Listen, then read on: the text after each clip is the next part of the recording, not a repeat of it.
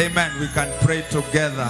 Omba pamoja. Father, in the name of Jesus, Baba, kwa jina la Yesu we lift your name on high. twaliinua jina lako juu. We thank you for this season, Twakushukuru kwa majira the new season you have given unto majira us. mapya ambayo umetupatia. Thank you for what you are doing Shukurani kwa kila in our lives, oh God, katika maisha yetu, wewe in our families, katika familia in the church, oh God, katika kanisa, wewe and even in the nation. hata katika taifa.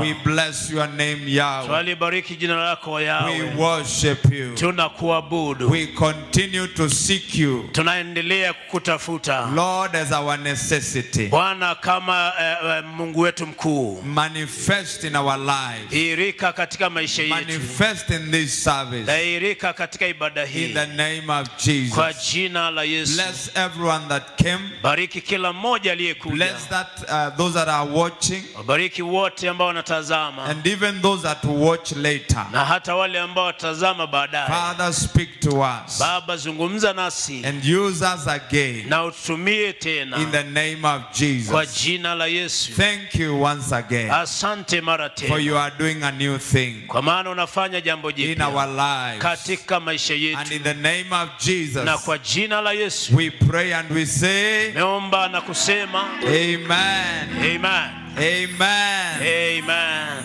We thank God for this evening, Twashukuru Mungu kwa jioni hii uh, the first Friday of the month of June. Ijumaa ya kwanza ya mwezi wa We Juni, are grateful to meet uh, To- every one of you. na tunashukurani kwa kutana na kila mmoja wenu. Thank you so much, Heart of Worship, Asanteni sana the Heart of Worship uh, for leading us. kwa kutuongoza, And welcome everybody. na karibuni kila mtu, Thank you for coming. na asanteni kwa sababu ya kuja. We acknowledge our mom Tunatambua mama yetu uh, and the dad. na pamoja na baba yetu, Yes, and we acknowledge that they are used of God. na tunatambua ya kwamba wanatumiwa na Mungu, We continue to enjoy na their tu, leadership tunaendelea kufurahia uongozi wao and even the opportunities to serve. Under na them. Pia kwa nafasi ya kuweza kutumika. Thank you so much. We can have our seat. Asanteni sana, mnaweza ukalia viti. Yes. Ndiyo, Welcome. karibuni.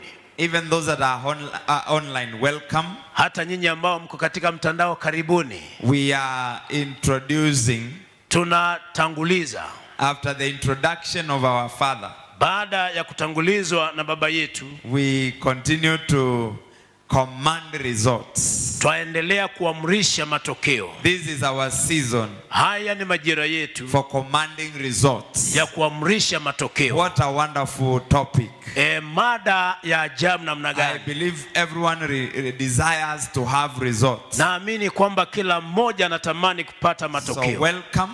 Kwa hivyo karibuni, May the Lord help us. na Bwana Mungu atusaidie. May the Lord help us Bwana Mungu atusaidie to operate a lives, a lives of results. e, tukafanye tukawe na maisha ya kuamrisha Every matokeo area of our lives, kila sehemu ya maisha yetu. may there be results. kukawe na matokeo. Uh, even before we proceed, Hata kabla hatujaendelea, Romans 1:17.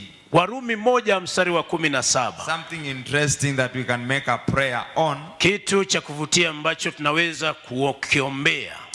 For in in it the righteousness of God is revealed from faith to faith, as it is written, the just shall live by faith. Kwa maana haki ya Mungu inadhihirishwa ndani yake toka imani hata imani, kama ilivyoandikwa, mwenye haki ataishi kwa imani. I was remembering that bit from faith to faith. Nilikuwa nakumbuka hiki kipengele cha kutoka imani hata imani. You know, we can ask ourselves, Najua tunaweza kujiuliza wenyewe, we have been receiving the word of God tumekuwa tukipokea neno la Mungu. from January, kutoka january. From the time we started coming to church. toka wakati tulipoanza kuingia kanisani, And we, we continue to receive the word. na tunaendelea kulipokea neno, Because the word of God says that faith comes by hearing, kwa sababu neno la Mungu linasema kwamba imani huja kwa kusikia and hearing by the word of God. na kwa kusikia neno la Mungu. I got a revelation Basi nikapokea ufunuo that we are supposed to move from faith to faith. ya kwamba twastahili kutoka imani kwenda imani. Yes, we heard. Ndiyo tulisikia, We received faith. tukapokea imani, We received visitation. tukapokea You kutembelewa. know, there are things that we have received Unajua kuna vitu ambavyo tumepokea by faith. kwa imani, But God is telling us we can move from faith faith. lakini Mungu anatuambia kwamba tunaweza kutoka imani hata imani. As we start this season, Tunapoanza majira haya, I want you to tell the Lord to help you ningependa umuulize Bwana akusaidie. to move from faith to faith, ukatoke kutoka imani hadi imani. from faith to a higher faith. e, kutoka imani kwa imani In ya the mighty name of Jesus. kwa jina kuu la Father God, I pray. Baba Mungu, naomba Help me in the name of Jesus. nisaidie kwa jina la Help Yesu, the church in the name of saidia Jesus. kanisa kwa jina la That Yesu, will move from faith to a higher faith. ya kwamba tukatoke imani kwa In imani ya the juu name of kwa jina la Yesu. We refuse to stagnate. Tunakataa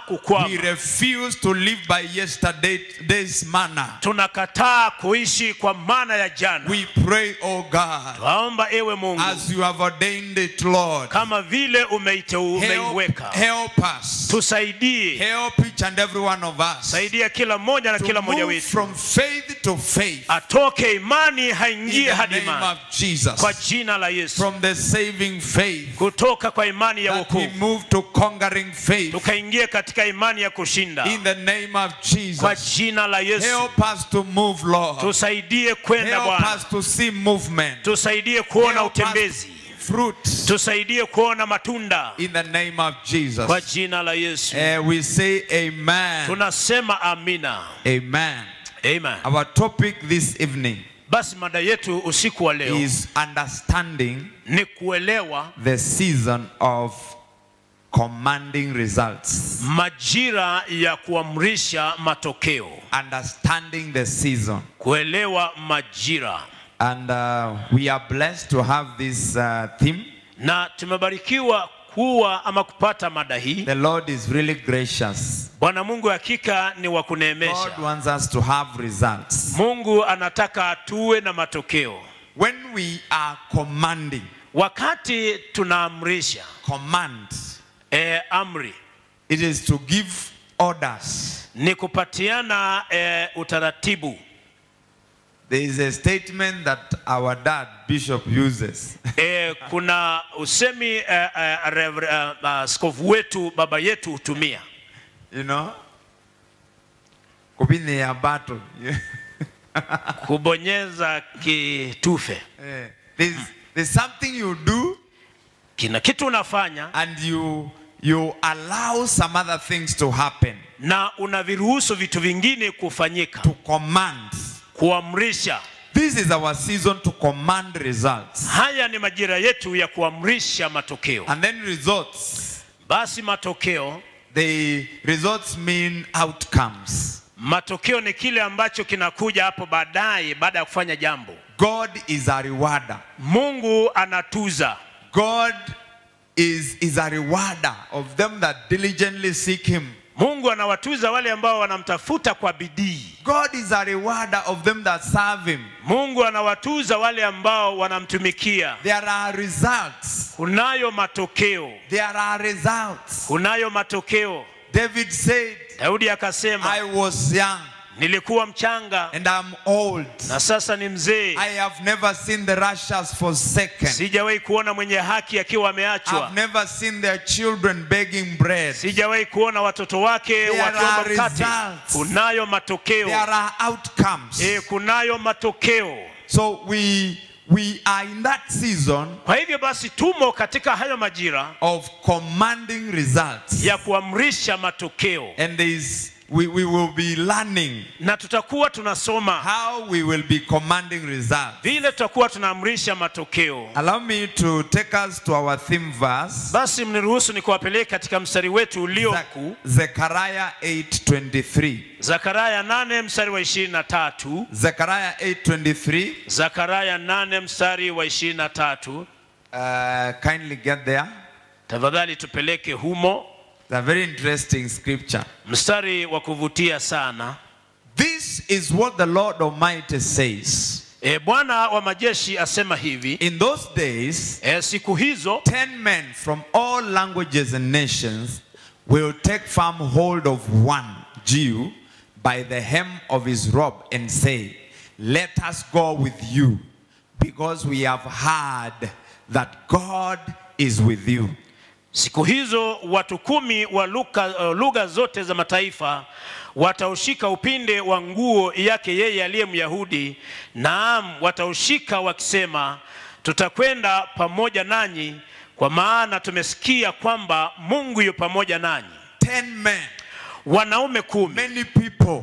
Watu wengi. You know, ten men means many people. Unajua, wanaume kumi maana yake ni watu wengi, People that are not from your family. watu ambao hawatoki katika jamii yako, People that are from other places. watu ambao wanatoka katika mahali kwingine. They come looking for the Jews. wanakuja wakiwatafuta They Wayahudi, come looking for believers. wanakuja wakitafuta waumini. Our time, this is about believers. E, wakati wetu huu hii inahusu waumini. We got the historical perspective. Basi tukapata ule mwelekeo wa kiroho, But just allow me to proceed. lakini mnikaniruhusu niweze kwenda mbele. So, so uh, people from other places, Kwa hivyo watu kutoka maeneo mengine, other quarters, maeneo mengine, possibly non-believers, sana sana watu wasioamini they see something wanaona kitu amongst the believers, katikati ya waumini and they begin looking for the believers, na wanaanza kuwatafuta wale waumini and they have something na wanacho kitu that they are saying. Ambacho wanasema Let us go with you. wacha tutembee na wewe, Because we have heard kwa sababu tumesikia that God is with you. ya kwamba Mungu yuko pamoja nawe. You know, uh, uh, those days, Unajua siku zile and even sometimes uh, that have gone uh, past, na hata wakati mwingine ambao umepita, we have heard the church tumesoma and the people of God na watu wa Mungu not being taken serious. e, ambao hawajachukuliwa kwa Uh, kumaanisha. they, there has been some, some contempt, some ridicule Kumekuwa na dhihaka, kuchekelewa kwa aina fulani church wa kanisa and for, for even um, the Jews. na hata kwa Wayahudi. In these times, they were, they, they were coming from, from a place of captivity. Katika nyakati hizi walikuwa wanatoka katika mahali pa kutekwa And mateka, so they were not respected. na hivyo basi hawakuheshimiwa, But the prophecy came. lakini unabii ukafika, People will begin looking for them. watu wataanza kuwatafuta. God is about to do something. Mungu yuko tayari kufanya jambo Even in our times, hata katika nyakati when He does it, na anapoifanya people will begin looking for us. watu wataanza kututafuta And they have they are saying, Let us go with you. na wanasema wacheni basi twende pamoja Let us accompany you. wacha tutembee pamoja Let us be part of your group. wacheni tukawe sehemu ya kundi chenu. Amen. Amen. There is a certain influence E, kuna aina ya adhari fulani that is coming ambayo inakuja upon the children of God. juu ya watoto wake May Mungu. that influence locate you Hiyo adhari in the name of kwa Jesus. jina la Yesu. You know, the, the picture that is drawn here Unajua ile taswira ambayo imechorwa hapa about men that are taking firm hold of a, of a, a hem of a, the garment of a Jew. kuhusu baadhi ya wanaume ambao wanashika upinde wa nguo wa ya Myahudi, It is, seems like they are fearing something. inaonekana kwamba wa, kuna kitu wanaogopa. They are seeking protection. E, kuna ulinzi ambao wanautafuta, They are seeking help wanatafuta msaada from them that could not give help before. kutoka kwa wale ambao hangewapatia msaada hapo Now awali. they come seeking help. Sasa wanakuja wakitafuta uh, usaidizi. May the church of God Kanisa lake Mungu receive a new reputation. likapokea uh, May a new reputation come upon every household of a believer. heshima mpya ikaje katika kila familia ya In the name of Jesus. kwa jina la Yesu. Every household of a believer. Kila familia ya muumini May, they, may there be a new take. kukawe na kunyakua May your neighbors begin to perceive you differently. majirani wako wakaanze kukuona kwa njia In the name of Jesus. kwa jina la Yesu. Amen. Amen. You know, I met someone Najua nilikutana na mtu and they, they, they, they began to compliment something. na wakaanza ku They don't come to kitu. this, they don't come to the church, this church. hawaji kanisani hili And then she was complimenting something. na hivyo basi akaanza kukamilisha jambo And I liked the way she, she said something positive. na alisema kitu kizuri Something positive. kitu ambacho ni kizuri From, from an outsider. E, kutoka kwa mtu wa nje We will hear such. We will hear more of that. tutasikia mengi kuhusu hayo Bwana Yesu asifiwe. amen Now, sasa for it to happen, e, kwa jambo hili ili iweze kufanyika rather, I want us to look at this. You know, we are introducing ama nataka tutazame jambo hili namjua ya kwamba tunatanguliza uh, what makes people to come to us. kinachowafanya watu kuja kwetu We will look at some, some of the things that could make people to come to us. tutaangalia baadhi ya vitu ambavyo vinaweza kufanya watu wakaja kwetu We will be people magnets. tutakuwa wa simaku za watu We are people magnets sisi ni simaku za watu. for the glory of God. kwa utukufu wake Mungu. And what makes people to come? na kile ambacho kinawafanya watu waje I believe you can hear something and believe God in that line. naamini unaweza kusikia kitu na unamwamini mungu kwa jambo hilo One, ya kwanza what makes people kinachowafanya watu come to us? waje kwetu Like in this case, they came.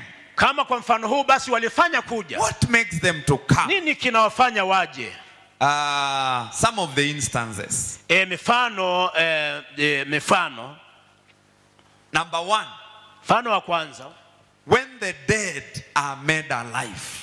wakati wafu wamesababishwa kuishi ama kufufuka John chapter 12, verse 9. yohane 12 mstari ni wa 9. When the dead are made alive. wakati wafu wanafufuliwa Look at this. tazama hapo Meanwhile, a large crowd of Jews found out that Jesus was there and came, not only because of him, but also to see Lazarus, whom he had raised from the dead. Basi watu wengi katika wayahudi walipata kujua ya kuwa yeye yuko huko nao wakaja si kwa an- anjili yake yesu tu ila wamwone na lazaro ambaye yesu alimfufua katika wavu Something had happened. kitu kilikuwa kimetendeka A man had been had died and had just he was rotten. e, mtu alikuwa ameshakufa na alikuwa Four days in the tomb. E, siku nne katika kaburi And then Jesus rose him up. basi yesu akamfufua When that happened, jambo hilo lilipofanyika people started looking for him. watu wakaanza kumtafuta He got popular. akapata kuta, kuta, uh, kupe, kupendeka People start, as they look for Jesus, they are also looking for Lazarus, watu wanapomtafuta yesu pia wanamtafuta lazaro whom he had raised from the dead. ambaye alikuwa amemfufua kutoka kwa wafu Let me tell you something. je niwaambie jambo There are some things that can happen in your life. kuna baadhi ya vitu ambavyo vinaweza kufanyika katika maisha yako dead things can be can arise. vitu ambavyo vimekufa vinaweza kufufuka God can raise up some dead things in your life. kuviinua baadhi ya vitu vingine ambavyo vimekufa Some ndani ya maisha yako areas in your life you lost hope. e, maeneo mengine katika maisha yako ambapo This is the umepoteza time tumaini to believe. huu ni wakati wa kuamini Uh, we read about Abraham in, in Romans. tunasoma kuhusu ibrahimu katika warumi He believed, yeye aliamini he hoped yeye alitumaini against all hope. kinyume na tumaini yote Even, even the time that he was about to sacrifice his son. hata wakati alipokuwa karibu kumtoa mwanaye dhabihu The Bible says he believed in the one who could raise him up again. biblia inasema kwamba alimwamini ndani ya yeye ambaye angeweza kumwinua mara tena You know, one time I was asking myself, why would he dare kill the only son? najua siku moja alikuwa anajiuliza sasa alijaribu namna gani kumuua mwana And, wake wa and I pekee read that part that said he knew Na God is the one who gives life and he can, after the son is sacrificed, he can still bring him up again. basi nikasoma hiyo sehemu ambayo alimwamini yule ambaye yuko na uwezo hata baada ya kuwa mwanaye anaweza kumfufua tena akawa hai God is the one that brings life. mungu niye analeta uzima ama uhai kwa, kwa yule ambaye amekufa God is is the one that brings life mungu ndiye analeta uhai in that dead situation. katika hiyo hali ambayo imekufa He is raising up. Yeye He is raising up some people. yeye anawainua baadhi ya watu raising them from the aship. anawainua kutoka mafumbi He is bringing them up. anawainua May you be part of the people ukawe sehemu ya watu hao that will have this testimony bao watakuwa na ushuhuda huu that this and this was dead in my life. ya kwamba hii na lile lilikuwa imekufa ndani ya maisha God has given me life. naye mungu amenipatia uhai God has made me to live in this side. Mungu amenipatia ameipatia kuishi That kind of, you know, the dead becoming, you know, coming to life, it draws crowds. unajua ile ambayo imekufa ikifufuka inavuta inavuta watu. It makes people to come and see. inawasababishia watu kuja kuona na In the name of Jesus. kwa jina la yesu. May every dead situation in our lives. na kila hali ambayo imekufa katika maisha yetu. every dead situation kila hali iliyokufa. that should bring glory to God, ambayo yastahili kumletea mungu may it come back alive. ikarudi kuwa In the name of Jesus, kwa jina la the yesu name above every other name, jina ambalo liko juu ya jina lingine. tunazungumza uzima speak life tunatangaza in the name of Jesus. kwa jina la yesu Amen. amen If we are together, say amen. kama tuko pamoja sema amina Amen. That is number one. sasa hiyo ni ya kwanza What makes us to draw men? nini kinatufanya tuvutie watu You know, it has to be something God is doing unajua ni kitu ambacho mungu or anafanya He has done. ama tayari amefanya Number two, ya pili when your rising is uncommon, wakati kuinuka kwako si kwa kawaida when you are rising wakati kuinuka kwako is uncommonly bright e, si kwa kawaida or is uncommonly bright, yani kuna you know brightness, e, kung'aa. kuna kung'aa kusiko kwa kawaida Yes. Mm -hmm. Some of us baadhi yetu we we should believe God tunastahili kumwamini mungu to arise, tukainuke to rise. tukainuke You know, you can rise to a place, to a position, unajua unaweza kuinuka hadi kiwango to a status. e, kwa hadhi ama hali Uh, let me show you something. wachini waonyeshe kitu You know, I was reading about uh, Joseph. Najua nilikuwa nasoma kuhusu yusufu Look at Joseph. Uh, Genesis 39, mtazame yusufu mwanzo 39 verse 2. mstari ni wa pili mm -hmm. Look at this. angalia hapo The Lord was with Joseph bwana alikuwa pamoja na yusufu and he prospered. na akafanikiwa Verse 3. mstari wa And he is a slave.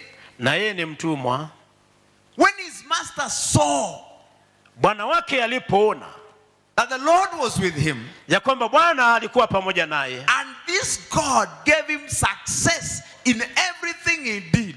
na ya kuwa bwana mungu huyu alimfanikisha mambo yote mkononi mwake You know, this is this is a star. This person is shining. unajua hii ni nyota huyu mtu anang'aa He might be a slave, but he is shining. anaweza kuwa ni mtumwa lakini yeye anang'aa Everything he does. Kila jambo May analolifanya God help you. mungu akusaidie In everything you do, katika kila jambo may there be a testimony. kawe na ushuhuda In the name of Jesus. kwa jina la yesu Look at verse 4. tazama mstari wa nne Joseph, uh, uh, did we did we skip any verse? I thought there's a verse. All right. Oh, next, Sawa. Joseph found favor in his eyes and became his attendant. yusufu akaona kibali machoni pake akamtumikia You know, Potiphar allowed Joseph to just attend to him. e, potifa alimruhusu yusufu amte, amtendee There were people from Egypt. Kulikuwa na watu ambao walikuwa wametoka misri. this guy is from another land. huyu mtu anatoka katika nchi But nyingine. there's something about him that is bright. lakini kuna kitu kumhusu ambacho kinang'aa. He is not just like any other servant. yeye sio kama mtumishi yule mwingine. found favor yeye alipata kibali. in the name of jesus. Kwa jina la yesu. This is ours. sasa hii ni yetu. Then Potiphar put him in charge of his household, and he entrusted to his care everything. naye akamweka awe msimamizi juu ya nyumba yake na yote yaliyomo aliyaweka mikononi mwake Look at verse 5. tazama mstari wa tano What happens? nini kinafanyika The star shines in the house of Potiphar. ile nyota inang'aa katika nyumba ya potifa From the time he put him in charge of his household, kutoka ule wakati alipomfanya msimamizi the wa nyumba Lord blessed the household of the Egyptian. Basi mungu akalibariki ile nyumba ya misri This is a certain sort of rising. hii ni aina fulani ya kuinuka Doesn't matter where you are. hata ijalishi mahali May ulipo the grace to cause you to shine locate you. neema ya kufanya ung'ae Wherever you are, popote ulipo in the name of Jesus. kwa jina la yesu Uh, that is the first scripture. sasa huu ni mstari wa kwanza Genesis 39, 2 to 5. mwanzo 39 And mstari wa pili hadi wa tatu scripture uh, on rising. na mstari huo huo huo tu kuhusu kuinuka Isaiah 63. isaya 63 Look at this. angalia hapo Isaiah 63, isaya 63 60 verse 3. Look at this. o 60 na mstari ni watatu Nations will come to your light. Basi mataifa yatakuja kwa nuru yako May you possess light. wewe ukapokee nuru. May you receive light ukapokee this nuru season. kwenye majira haya. In the name of Jesus. kwa jina la Yesu. May you receive light. wewe ukapokee nuru May nations come to your light. mataifa yakaje kwa nuru yako. And the kings, na wafalme people with authority, watu walio na mamlaka people that have that you know, this is this is special. sasa hii ni spesheli They come to the brightness of your dawn.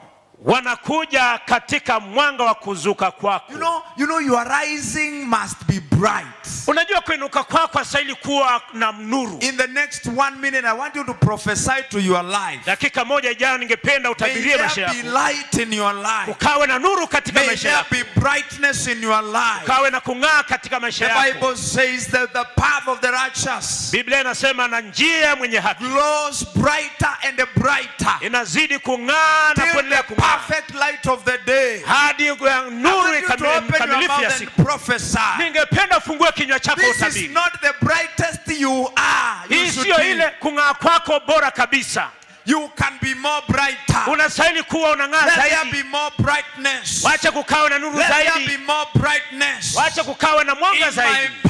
katika njia In the zangu. name of Jesus. kwa jina la Let yesu. there be more brightness. Wacha kukawa na nuru zaidi. katika maisha In yetu. the name of kwa jina la May yesu kings come wafalme na wakaji. to the brightness of our dawn. Katika kung'aa kwa kuzuka In the kwetu name of Jesus. kwa jina la yesu If we are together, say amen. kama tuko pamoja sema amina There is a way you can rise kuna njia ambayo unaweza and you draw nations na unavutia mataifa kwako Bwana Yesu asifiwe. amen The rising Kule is kuinuka. mbako si kwa kawaida Number three. nambari ya tatu All right. Number three. namba tatu Uh, Isaiah 55. isaya When you are glorified, sasa unapotukuzwa when you are glorified by the Lord. unapotiwa mwangaza na mungu Isaiah 55 verse 5. isaya hamsini na tano mstari ni wa tano The Lord is able to glorify you. mungu anaweza kukutukuza When the lepers were leaving the gate of Samaria, wakati wanaukoma walipokuwa wanatoka katika malango ya samaria they were making small steps. walikuwa wanafanya tu hatua eh, ndogo It was even painful to walk hata ilikuwa yenye maumivu yenye uchungu when they kutembea are lepers. wakiwa They wenye ukoma sick. ni wagonjwa wanaugua But God amplified their steps. lakini mungu akavumisha zile hatua zao God glorified their steps. mungu akatukuza akanenepea May this be the season haya kawe ndiyo majira that we shall see a new glory of our lives. Hapo tutaona utukufu mpya juu ya maisha yetu Help me with NKJV. nisaidie na nkjv Look at this NKJV. All right, yes. Surely you shall call a nation you do not know, and nations who know not who do not know you shall run to you. tazama utaita taifa usilolijua na taifa lisilokujua wewe litakukimbilia You know, you have called, and the, not only the, the nations you have called, even others run to us. unajua umeita taifa lakini sio taifa lile ambalo umeliita linakuja lakini hata mataifa mengine yanakuja kwetu Because of the Lord your God. kwa sababu ya bwana mungu wako I love that one. napendezwa na Because of the Lord my God, kwa sababu ya bwana mungu wangu the Holy One of Israel. Mtakatifu wa israeli Open your mouth and tell him to glorify you. fungua kinywa chako na umuulize akutukuze Tell him to glorify your family. mwambi muulize atukuze familia In yako the name of Jesus. kwa jina la yesu Acknowledge him as the Lord God, your God. mtambue kwamba ndiye bwana mungu wako Father God, baba mungu you are my Lord God. wewe ndiwe bwana mungu You are my only one, wewe ndiwe wangu wa pekee my Savior. mwokozi You are wangu the one that is able wewe ndiye unaweza to glorify me. kunitukuza I ask you to glorify me. ninakuuliza unitukuze Amplify my steps. hata ukanenepesha hatua In the zangu name of Jesus. kwa jina la yesu That thing about amplifying our steps, hilo jambo kuhusu kuvumisha hatua zangu I, I feel someone should believe it. nahisi kwamba mtu anastahili kuiamini Glorifying your steps, e kuvumisha zile hatua zako. the actions you take, yale matendo ambayo unayafanya they become a big thing. Zanafanyika jambo kuu May that be yours in Jesus' name. hiyo ikawe yako kwa jina la yesu And, and, and others, God extends your borders. na hata e, zingine mungu ana e, e, One extends your borders. ana panua mipaka yako One of the meanings of glory, being glorified mojawapo ya maelezo kuhusu kutukuzwa is to be made great. ni kufanywa mkuu It is to be beautified. Ni kufanywa kuwa na ubora May the Lord beautify you bwana mungu in the akurebeshe name of Jesus. kwa jina la Yesu. I ask us to receive it. na wauliza May the Lord beautify you bwana mungu in the name of Jesus. kwa jina la Yesu. May the Lord make you great bwana mungu akufanye mkuu in the name of Jesus. kwa jina la yesu You know, I, I, I, I read something. unajua nilisoma kitu God was telling uh, David, mungu alikuwa anamwambia daudi You remember, I took you from, from the, the, the fields. unakumbuka nilikutoa kule uwenjani ama nyanjani I think uh, Second Samuel samueli wa pili uh, 7 9. saba mstari wa He was telling that, that, uh, David, alikuwa anamwambia daudi took you from the fields. nilikutoa kule uwanji, kule viwanjani And been with you wherever you have gone. na nimekuwa pamoja nawe mahali popote ulipoenda Look at the way God makes people great. angalia vile mungu anawafanya watu kuwa wakuu I have, I have been with you. nami nimekuwa pamoja nawe People that have God, watu ambao wana, wana mungu they had. Walisikia We read in Zechariah, they heard that the Lord is with us. e, tunasoma zakaria kwamba walisikia kwamba mungu yuko pamoja nasi. God was with this young man. Mungu alikuwa na, pamoja na kijana huyu. And he cut off all his enemies. naye akawakata maadui wote. Father, may you cut off baba ukawatoe. all our enemies bali maadui in the name of Jesus. Kwa jina la yesu. From before us. e, mbele zetu. May you cut off ukawakate. all our enemies maadui zetu. from before our families. Toka mbele ya in the name name of Jesus. kwa jina la Yesu. He cut off all the enemies of David. tunakata alikata maadui zote wa daudi David went through a lot of battles. daudi alipitia katika vita nyingi sana And what happened? na kilichofanyika And you have made, and have made you, David, a great name. na amekusa, amekufanya wewe kuwa jina kuu Who is making David anything? nani anafanya daudi kitu Who is making David something? nani anafanya daudi kuwa kitu God. mungu I've made you a great name.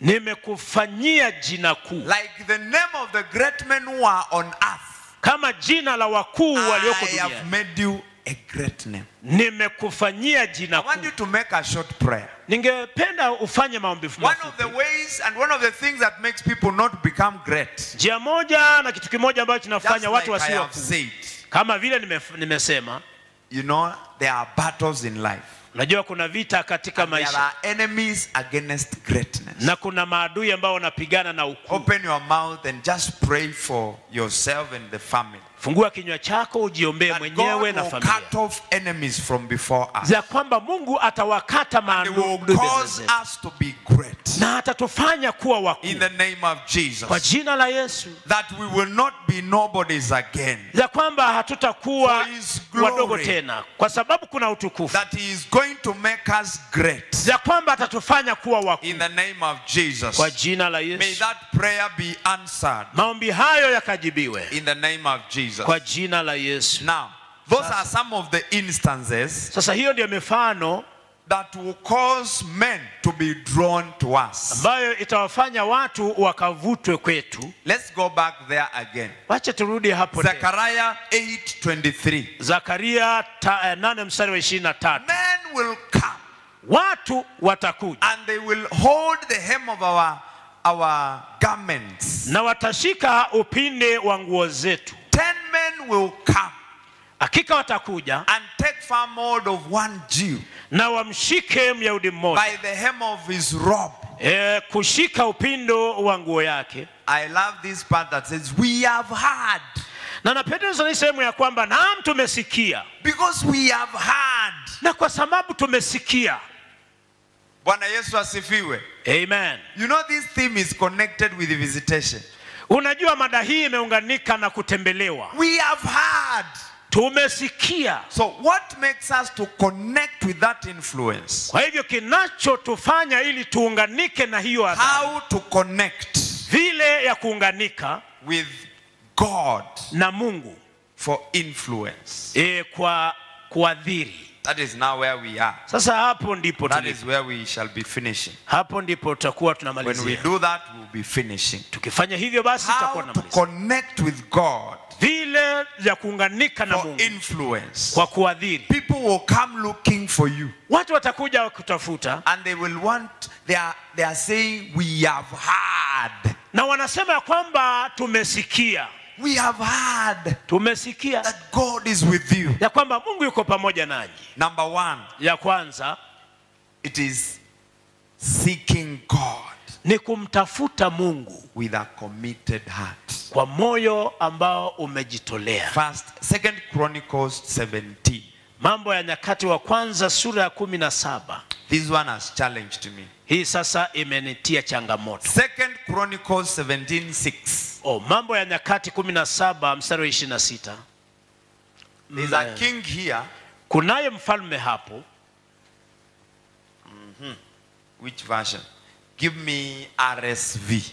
nipatie rsv Uh-huh. Yeah. Help me with verse 5. Nisaidie na mstari wa tano Where King Jehoshaphat is mentioned, you can just start there. pale mfalme yehoshafati ametajwa tuanze hapo Oh, yes. mm -hmm.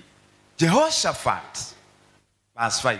Therefore, the Lord, kindly, verse 4. Seeking is verse 4 or something. Yes. He sought the God of his father and walked in his commandments and not according to the ways of Israel.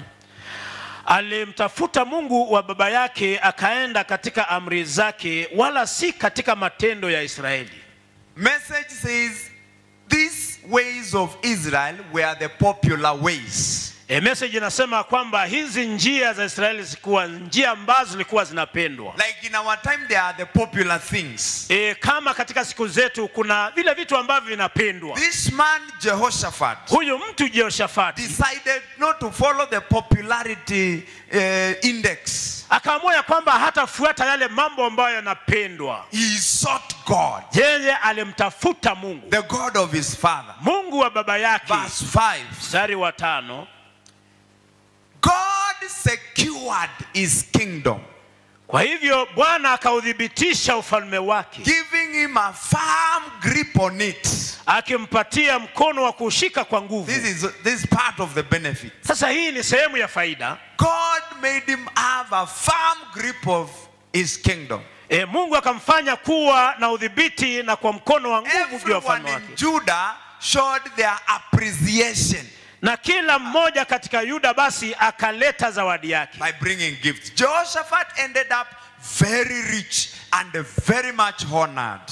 basi yoshafati akawa na mali na mwenye heshima tele Let's proceed. tuendelee Look at this. angalia hapo Verse 6. mstari wa sita He was single minded.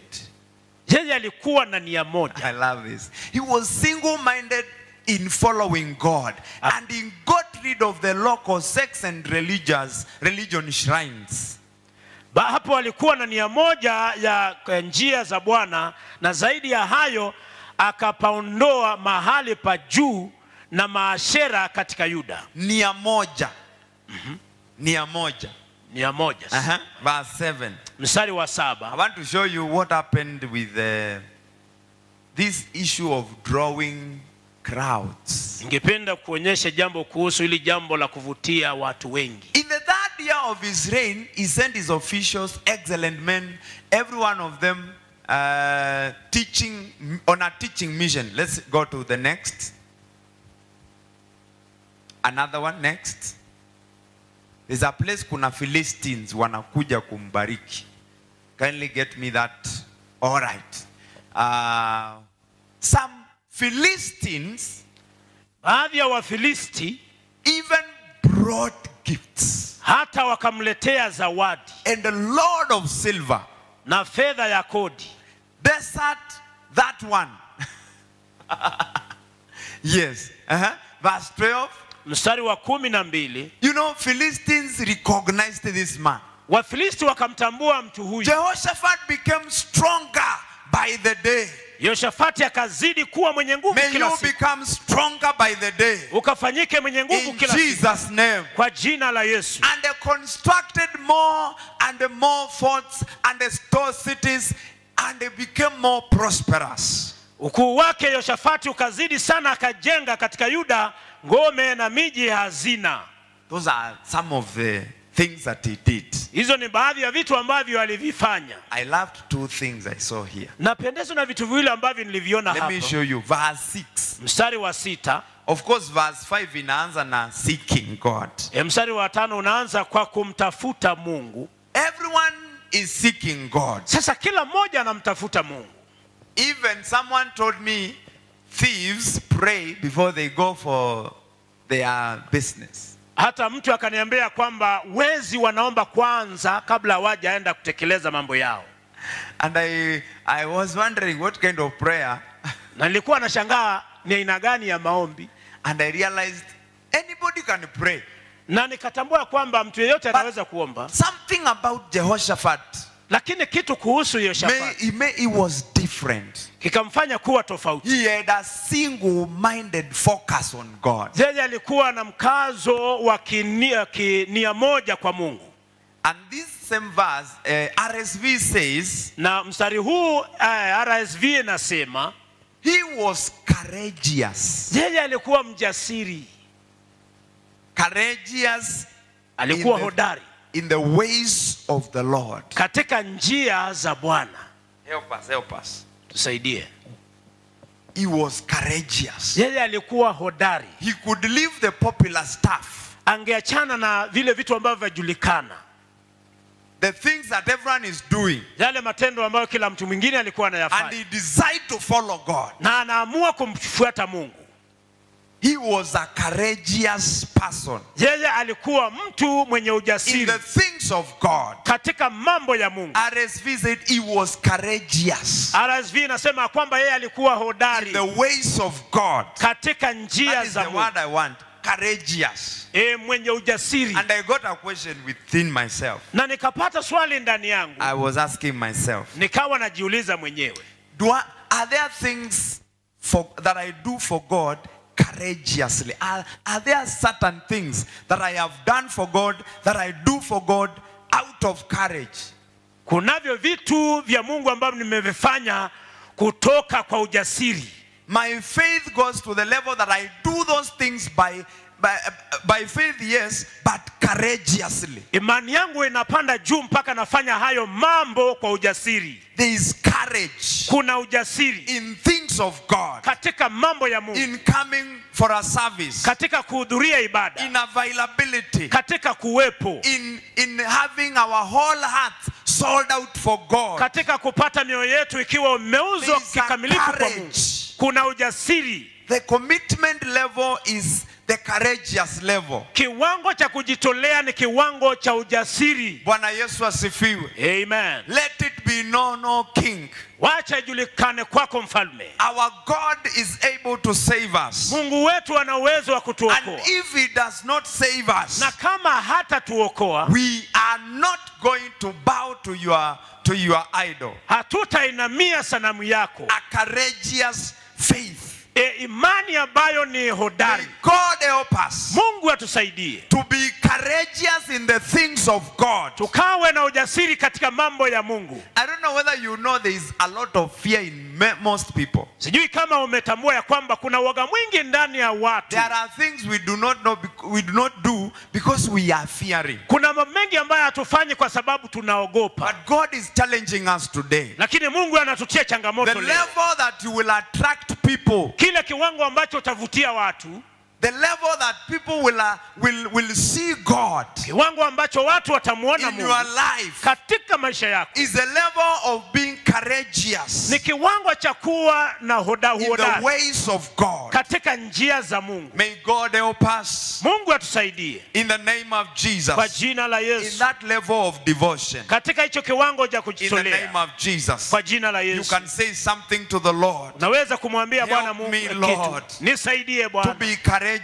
niwe na uhodari in your ways, katika njia in obedience, katika in service, katika in availability. katika Help me to be courageous nisaidie niwe na in the name of kwa Jesus. jina la yesu If we are together, say amen. kama tuko pamoja sema amina Amen.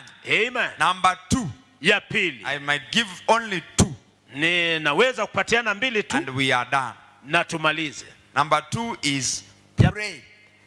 Pray the word of God in you. ya pili omba neno la mungu ndani yako Pray the word of God in you. omba neno la mungu ndani yako There is a part of putting the word of God in you. kuna sehemu ya kuweka neno la mungu ndani yako Then when you are put in you, Na basi ikiwa imewekwa ndani yako in me, ndani yangu then I pray that word in me. basi niombe hilo neno ndani I receive unusual answers. Napokea majibu yasiyo ya kawaida And that causes people to be drawn na hiyo inawafanya watu wavutwe to the kind of God that I serve. e, kwa yule mungu ambaye John namtumikia 15, 7. yohane 15 mstari wa Look saba at this. angalia hapo John 15, 7 says, yohane 15 mstari wa 7 inasema If you live in me kama unaishi ndani yangu and my words live in you, na neno langu linaishi ndani yako if you remain in me basi na ukisalia ndani yangu and my words remain, na maneno yangu yanakaa when something is supposed to remain, it means it can be lost. Wakati kitu cha stahili kukaa maana yake ni kwamba kinaweza kupotea. No wonder in the parable of the sower, there is a part that says the enemy is out to steal na ndio sababu seed. katika ule mfano mafundisho ya kupandwa kwa mbegu kuna The enemy wants to steal the seed, the word of God that is planted in the believer's heart. adui anataka kuiba ile neno ambalo lime- limewekwa katika uh, maisha ya muumini Particularly the seeds that were sown on rock. sana sana zile mbegu ambazo zilianguka kwenye mawe The things that they don't understand. vile vitu ambavyo hawaelewi Listen to me. nisikilizeni Anything that we teach and you don't understand, kitu chochote ambacho tunafundisha na hauelewi anything you read in the word of God and you don't understand, kitu chochote ambacho unasoma kwa neno la mungu na hauelewi it is on rock. e, kiko juu ya mawe It is exposed.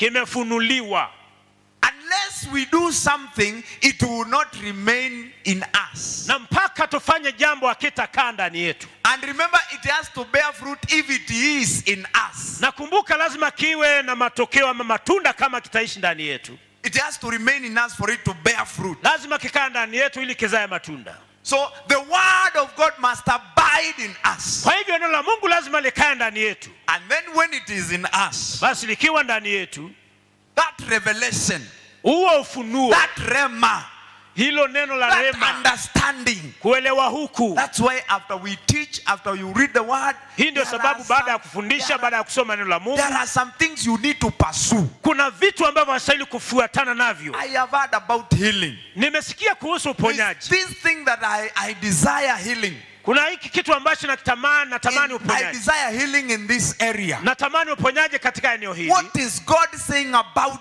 this area? mungu anasema nini kuhusu eneo hili pursue understanding. nitafute kuelewa. The word of God is not on rock. neno la mungu alipo juu ya jiwe Where there is understanding, it is now in the heart. Pale kuna kuelewa basi nimo ndani ya moyo And you, you now pray. na sasa unaomba When you pray, unapoomba it is done. sasa inafanywa Miracles. miujiza Cancer is healed. saratani na Things happen. mambo utendeke Amen. amen May God help you. mungu akusaidie Let me show you how it happens. wacha nikufanye nikuonyeshe vile inafanyika One, identify an area in your life tambua eneo katika maisha yako that you need God. ambayo inamhitaji mungu Two, ya pili number one, identify an area. ya kwanza ni uta, utafute eneo sehemu How to do this? na vile kufanya hivyo fulfill this word. vile kutimiza neno hili Identify an area in your life tafuta eneo katika maisha yako. that you need God. ambapo unahitaji mungu Number two, ya pili get the scripture pokea mstari and the maandiko books. na vitabu. And read meditatively. Na uvisome ukiwa unavitafakari uh, unavitafakari on it. juu yake. Remain there. wewe kaa hapo. I, I- I follow Bishop uh, Oyedepo, namfuata askofu oyedepo. And, and, and this is the this is something I got. Na hiki ni kitu ambacho nilipokea. One time. wakati mmoja One of the children, one of his children, mmoja wa, mmoja wa watoto wake had teething problems. alikuwa na shida ya kuota meno. You know the way they get sick, unajua vile watoto wanaugua. And he, he, he looked at the way the young boy was having challenges, na akapata kuona vile kijana alikuwa na shida. Challenges feeding, Eh, shida ya kula, challenges, etc. shida ya And then he did what I'm saying. Na hivyo basi akafanya vile na I, I just laughed at the testimony. He said, napendezwa na ushuhuda I alisema. took, I took some books. Nikachukua baadhi ya and I took, I got the word of God. Na nikapokea neno and I looked for scriptures that explain something about children. na nikatafuta maandiko ambayo yanaelezea kuhusu watoto. I want to know, nataka is it written in the word imeandikwa katika neno when children are teething, ya kwamba wakati watoto wanaota meno wanastahili kuugua Others even are at a very bad state. hata wengine wanaingia katika hali mbaya written in the word? imeandikwa katika And he said he locked himself somewhere. Na akasema and alijifungia he mahali. started reading, na akaanza kusoma. Meditating and praying. akitafakari na And the one thing he said, na kitu kimoja alisema. he never saw any scripture yeye hakuona maandiko that says that children must go through what he saw his, uh, his son go through. inayosema watoto lazima wapitie kile aliona mwanaye He akipitia saw that children are reward. akaona kwamba watoto ni children of the vipawa. righteous shall be great. watoto wa mwenye haki watakuwa wakuu He saw some promises. akaona baadhi ya haya And he said in himself, in, in his heart, na akasema ndani ya moyo wake something was created. kitu kiliumbika And he, he got convinced whatever that is happening to his son is of the devil. na akapata kushawishika chote ambacho chatendeka mtoto wake ni cha The word abiding. neno likidumu And then he went to the child basi akaendea mtoto and he spoke Na the word of God. akaongea neno la mungu spoke what he believed akatamka kile ambacho aliamini according to the word of God that he had retrieved. kulingana na ile neno la mungu ambalo alipokea He spoke to the child. Aliongea kwa He mtoto spoke life. akaongea He uzima spoke healing. akaongea uponyaji young man got well. kijana akapona You can do it in your life. unaweza kuifanya kwa maisha yako I have yeah, three things. Number one, identify an area in your life. hakika niko na vitu vitatu kwanza utafute sehemu katika maisha Number yako two, ya pili get books and the scriptures pata, about, about that area pata vitabu na maandiko kuhusu sehemu hiyo and read meditatively. na usome kwa kutafakari Do something, uh, get secluded with God and receive something. wewe kama mahali pako na mungu na ufanye kitu Have something. hata kitu You know, uh, let me say this the season is changed. unajua majira yamebadilika We are not just going to say, by the stripes of Jesus, I am healed. If it is not in us, hatutafanya tu kusema kwa mapigo ya yesu nimepona kama let me tell haimo you, ndani ya moyo that one scripture, when it enters in your heart, mstari huu mmoja ukiingia katika moyo wako when it abides, inapodumu you have meditated and stayed there. umetafakari na unaishi hapo If it abides, kama inakaa you will speak to any disease, utaongea na kila ugonjwa it will leave. na ugonjwa utaondoka If you understand, say amen. kama unaelewa sema Number amin. three is number three is pray based on the revelation you receive. basi nambari ya tatu ni omba ukitegemea ule msingi ambao umepokea You will be ufunuo one, ambao you will be living a life that people will desire. utakaa maisha ambayo watu wanatamani How do you receive this? unapokeaje jambo hili How do you deal with this? unakabiliana jambo hili namna gani What conviction? Where do you get your conviction from? ushawishi wako unatoka wapi I wish I was I, I had such a conviction. Someone said, I wish. natarajia ningekuwa na ushawishi wa aina Let me tell you, it's not about wishing. wacheni niwaambie si kuhusu We have to be deliberate. twastahili kuwa tumeamua There are some things that, for example, let me tell you something. kuna baadhi ya vitu nawaambie kitu There are some things this house, kuna vitu katika nyumba this altar madhabahu haya has spoken. yamenena Some, let me give you an example. acheni wapatie mfano Any issue about wealth, jambo lolote kuhusu utajiri it is spoken here. limezungumziwa hapa What might be remaining for many? kile kinaweza kuwa kimebakia kwa wengi Abiding. ni kukaa Is that word abiding in us? hilo neno linakaa ndani yetu As you pray for prosperity, unapoombea ufanisi, that things may be well, ya kwamba mambo yakawe mema is the word abiding. neno linakaa Have we done our part? tumefanya sehemu yetu Bwana Yesu asifiwe. amen This is how you will become the next giant. hivi ndivyo nafanyika ile This is how we are drawing nations. hivi ndivyo navutia mataifa What makes people identify winners chapel members? Nini kinawafanya watu watambue wale washirika wa Winners For Chapel? example, kwa mfano you go to some places and they have a description of certain churches. unaenda maeneo fulani na unakuta wana maelezo kuhusu makanisa I'm believing God that our church we will have a description. naamini kwamba kanisa letu tutakuwa na maelezo. We will have a description. tutakuwa na maelezo We will have a description. Tutakuwa na maelezo We will have a description. Tutakuwa na maelezo If it is so and so, kama ni fulani na fulani or if you saw them behave this way, ama kama uliona wakiwa na tabia they hii, are from this church. wanatoka kwa kanisa hili Amen. I amen want us to arise. basi ningependa May God bless you. mungu awabariki May God help you. mungu akusaidie May God cause you to shine. Mungu akusababishe In the name of Jesus. ukang'ae Open your mouth. fungua kinywa chako Declare something. tangaza kitu Give notice to some problems. e, pata kujua tabu zingine In the name of Jesus. kwa jina la yesu Ratoshi kataba. Thank you, Jesus. Makazayatago. Ritekezemaka. In the name of Jesus. In the name of Jesus. There is going to be a shift. Just open your mouth and pray. Fanya kufungua kinywa chako na uombe Jesus. Just pray. ufanya kuomba tu Just pray. omba tu In the name of Jesus. kwa jina la yesu Father, help us to understand baba tusaidie kuelewa this issue. e jambo hili issue, Lord, jambo hili Bwana, this season, Lord, haya majira Bwana, what you are doing in our season, kile unafanya katika that you are helping us, Bwana, that you are helping us, Lord. unasaidia Bwana, Help us to become, tusaidie help kufanyika, us to draw men. Tusaidie for you, Lord. wako We lift you, Jesus. tunakuinua And as your word says, na kama vile neno as we lift Jesus high,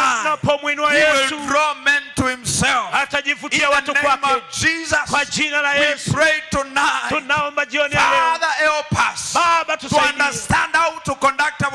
kuelewa vile tunastahili kujibeba. katika majira ya kuamrisha matokeo.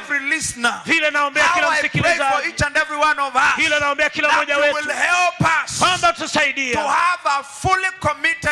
tukawa na moyo kikamilifu, na moyo hodari. kwa jina la Yesu. Tusaidie Bwana, tukafanyie kazi na Mungu, bali kakaa ndani yetu jina la My Father, we pray. Baba yetu twaomba, Lord God, we pray. Bwana Mungu By the entrance of this kwa kiingilio cha neno hili May there be a path kukawa na njia, kukawe na For our kugeuka, change. In mabadiliko the name of Jesus, kwa jina la we Yesu. release our change. Tunaachilia We mabadiliko declare yetu, our next level. tunatangaza In kiwango the chetu name of kingine Jesus, kwa jina la we Yesu. declare no more stagnation. Tunatangaza In kuna the kwamba name tena of Jesus, kwa jina la we Yesu. declare we are moving Tunatangaza from one tunatembea faith to the other. toka imani moja hadi nyingine. kiwango cha is imani, ni sehemu yetu. Father, bless us Baba, tubariki jioni ya and leo walk with us. na ukatembee May nasi, your presence be evident. uwepo wako May your ukadirike, presence be evident. uwepo wako In the ukiwadirishe mighty name of kwa jina kuu la Yesu. Help us, Lord, Tusaidie to learn how to conduct ourselves jue vile ya kujibeba in wenyewe katika hicho kiwango In kibacho the name of Jesus. kwa jina la How we Yesu, humble ourselves vile twajishusha before you, Lord. mbele zako Bwana. Kwa jina la Yesu tumeomba, amen.